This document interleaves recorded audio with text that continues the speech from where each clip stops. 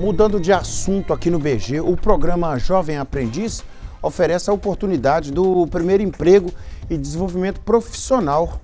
É, o resultado é positivo porque, segundo o Ministério do Trabalho e Emprego, quase 60 mil jovens foram contratados nos seis primeiros meses deste ano. A reportagem está aqui, pode balançar.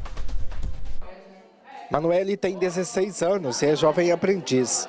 Ela se dedica ao curso técnico em administração.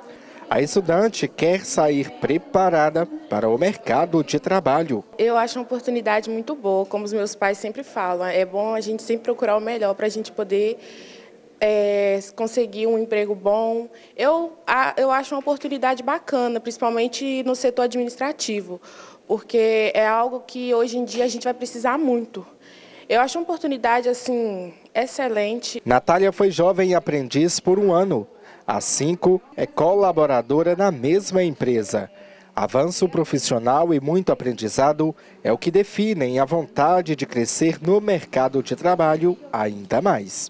Atualmente eu trabalho né, gerenciando as redes sociais, atuando com marketing estratégico também é, de, dentro da empresa. E isso representa muito para mim, porque eu trabalho e estudo a mesma área, eu estudo publicidade, então eu acabo aplicando tudo que eu aprendo né, de forma técnica lá na minha faculdade e aqui no meu serviço. Dados divulgados pelo MTE, Ministério do Trabalho e Emprego, indicam que 58 mil 696 jovens aprendizes tiveram a primeira experiência com carteira assinada de janeiro a junho deste ano.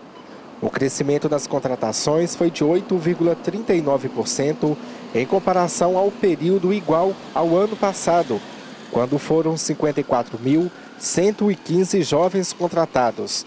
As admissões atendem à Lei 10.097, sancionada em 2000 é, a legislação, ela prevê né, uma porcentagem, é, depende do tamanho do número de funcionários que a empresa tem, então há uma orientação aí através do Ministério do Trabalho e Emprego de quantos aprendizes se a empresa tem a necessidade de ter, de atender o programa da aprendizagem comercial. Então depende do porte da empresa, do número de funcionários, isso tudo é regido por essa lei da aprendizagem.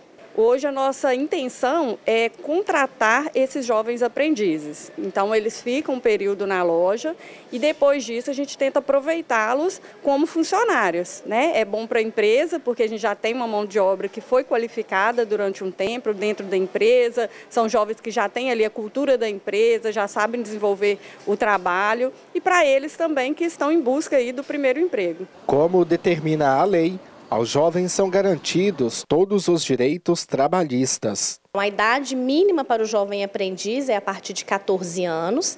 Ele precisa estar vinculado ao ensino médio ou ter concluído o ensino médio.